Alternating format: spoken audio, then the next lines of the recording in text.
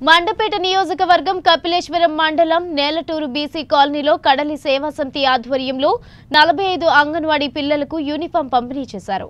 ఈ సందర్భంగా కడలి రాము మాట్లాడుతూ రెండు వేల పదిహేను నుండి ఇప్పటి వరకు గ్రామ స్థాయి నుండి నూట ఇరవై తొమ్మిది కార్యక్రమాలు నిర్వహించామని తెలిపారు.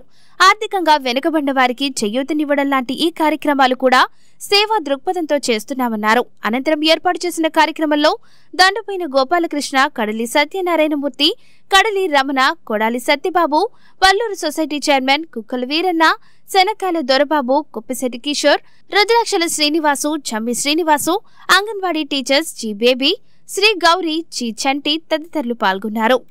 కపిలేశ్వర మండలం నేల్టూరు గ్రామంలో అంగన్వాడీ కార్య అంగన్వాడీ స్కూల్లో పిల్లలకి పిల్లలకి బట్టల కార్యక్రమం చేయడం జరిగింది.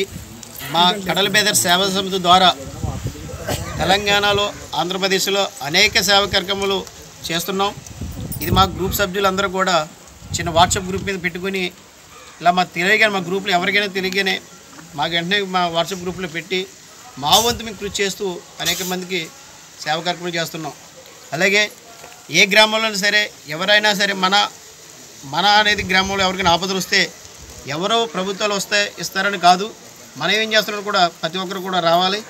ఇది ఎందుకంటే ఈ గుణం అనేది కొన్ని కోట్లు ఉన్నా కూడా ఎవరు చేయరు. అది మేమంతా కూడా ఏ రోజు ఎవరు పనిచేసిన వాళ్ళు. కానీ అందరూ బాగుండాలి దాంట్లో మేము ఉండాలని తపనతో మా కడల మీద సేవా సమితి ద్వారా అనేక సేవా కార్యక్రమం చేయడం జరిగింది.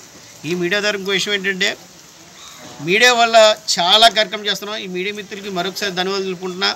ఎందుకంటే ఎక్కడో మారుమూలలో ఉన్నా సరే అనేక మీ- వెలుగులో తీసుకొచ్చి వాట్సాప్లో ఫేస్బుక్లో పెట్టి దాని ద్వారా కూడా అనేక సేవా కార్యక్రమం చేసాం గతంలో నేలటూరులో ఒక అమ్మాయికి అమ్మాయి పేరు నాకు ఐడియా లేదు.